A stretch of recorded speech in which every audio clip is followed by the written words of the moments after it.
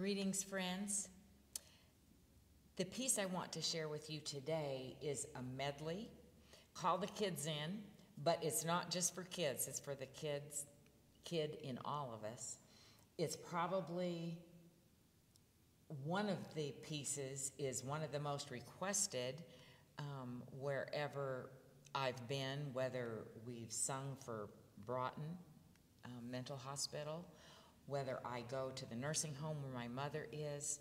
Um, Jesus Loves Me is almost always certain to be requested. And the other piece that goes along with this medley is Jesus Loves the Little Children, all the children of the world. And what a perfect message that I need myself, that I think we all need to be reminded of that we are all loved by God. We are all called to be His children.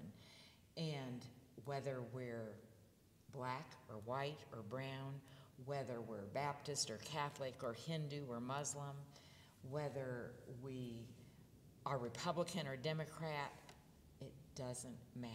Jesus loves us all. I will warn you, and I want you to pay attention to the words that are going through your head. But if you think I'm going to fall off the bench, I'm not. It's just that kind of medley eventually.